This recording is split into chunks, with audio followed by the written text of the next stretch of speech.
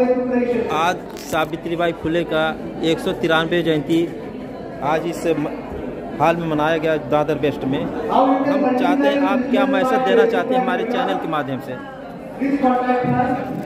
आज माता सावित्रीबाई फुले की जयंती मनाई गई एक सौ तिरानवे जयंती। माता सावित्रीबाई की विचारधारा पे चलने की ज़रूरत है। आज माता सावित्रीबाई फुले का ही संघर्ष है कि अगर देश की एक महिला प्रधानमंत्री अगर इंदिरा गांधी बनी तो माता सावित्रीबाई फुले की वजह से। आज महाराष्ट्र में तो कोई भी महिला मुख्यमंत्री अभी तक नहीं बन पाई है दुख की बात है।